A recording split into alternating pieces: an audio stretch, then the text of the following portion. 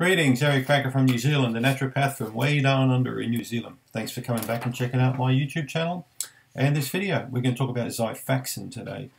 Rifaximin, I think it's called, let me just check on Google, I think it's called Rifaximin, or Xifaxan, Rifaximin is what it's called, that's right. So, I've got a question here from a subscriber called Urban Explorer 1000.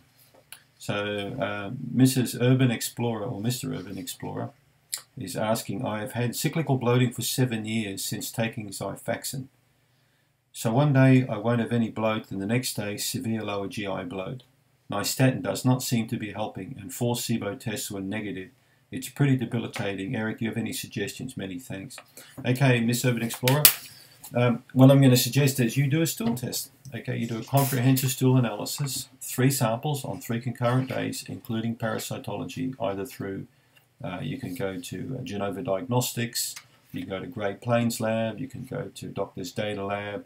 Uh, there are many labs in the US. I prefer to use Doctor's Data in Chicago, uh, Illinois, but you can go to any lab. A good quality uh, lab will be worth it. Make sure it's three samples. You need to find out what's going on with your gut. So if you've had multiple negative SIBO tests, because a SIBO test is a breath test, it's not going to look for beneficial bacteria, it's going to look for any bacteria that help to stimulate the production of hydrogen or methane in the gut. And that will give you a good idea on how to target your treatment. I've done uh, an amazing amount of SIBO breath testing. I do like them, but now I use them only in conjunction with a comprehensive stool test to give me much broader uh, spectrum of knowledge to give me a lot more analysis, you know, on what's going on with the patient. Okay, getting only a very small amount of information if you want to get a very good understanding of a case is not as good as getting a fantastic amount of information. It makes a lot more sense to really profile that person's gut so you can make the correct decisions for, for that person.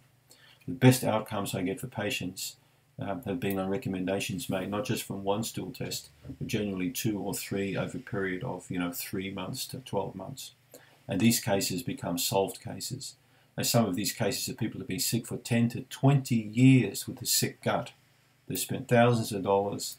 There've been 10, 20, 30, 50 doctors that have lost jobs, lost relationships, lost time, lost money, lost everything, lost all sense of thinking they were ever going to recover until some silly guy down in New Zealand says, Hey, how about getting a stool test done?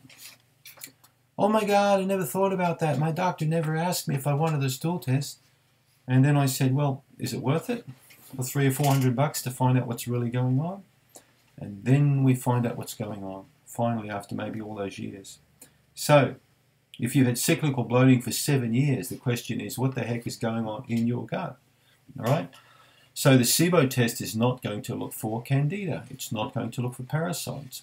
As I mentioned, it's not going to look for beneficial bacteria. It'll only look for the production of gases, okay, two types of gases to see what bacteria are producing this gas. So the treatment's not really targeted then, is it? So you need more information. Now, let's talk about Xifaxan. Ever since I found out about Xifaxan several years ago, I started to get excited with it. And with several patients in the States in the early days, I started to recommend Xifaxan until I started to discover, to my horror, that many of these patients, um, in fact, didn't only recover, this is well over half, didn't only recover, they actually got worse, just like Urban Explorer got worse. I've noticed the same thing with metronidazole or flagyl. I just don't recommend any more these drugs. No more Xifaxan, no more metronidazole. My clinic stopped using these now a few years ago now. I used to use them occasionally. I used to work in medical centers and thought a good balance between natural and pharmaceutical is the right approach for people. But I'm absolutely now adamant that pharmaceutical is not the right approach for nearly all people.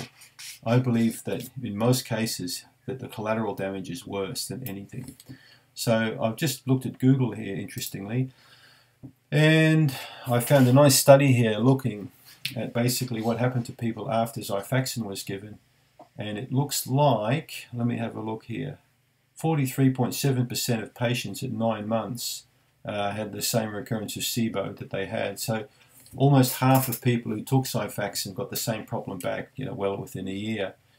Uh, the recurrence of SIBO is documented in 12.6% of patients at three months, 27.5 uh, at six months and 43.7 at nine months. So you can work that out within 18 months, 19 months, you know, it'll be 100%. So it'll all come back again. So this was a study involving quite a few people. Rifaximin in irritable bowel syndrome, rationale, evidence, and clinical use. This is a 2013 study.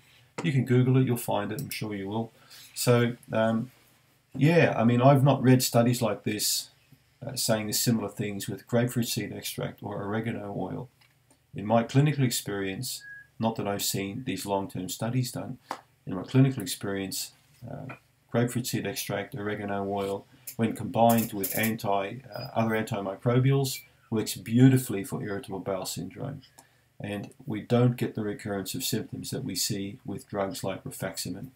So my recommendations are if you're watching this and you've either used rifaximin or are thinking about using it, is to think very carefully about these kind of pharmaceutical drugs because it's just another antibiotic.